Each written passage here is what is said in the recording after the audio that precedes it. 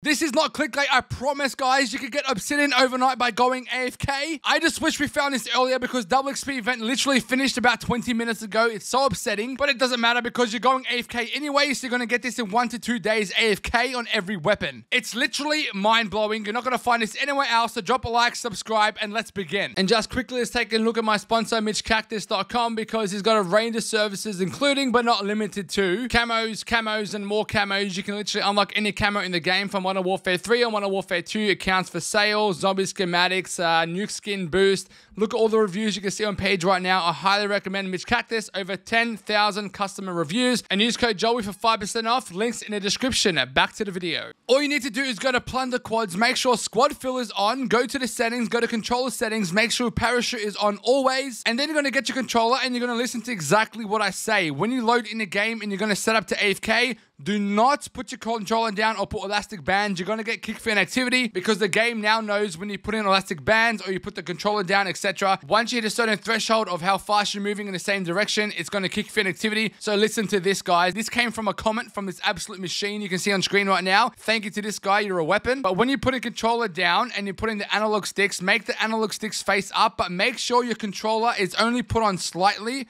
so your character's moving forward slowly. Not like this, like this. If it's like this, the game thinks you're actually playing for some reason. You're going to actually stay in the game for like literally 100,000 hours straight if you want to. Now, make sure the weapon you want to level up is in the favorite loadout in the first primary weapon. That weapon is going to get all the weapon XP. You're going to wake up with Obsidian. I can't believe I just survived the whole game AFK, guys. That's insane!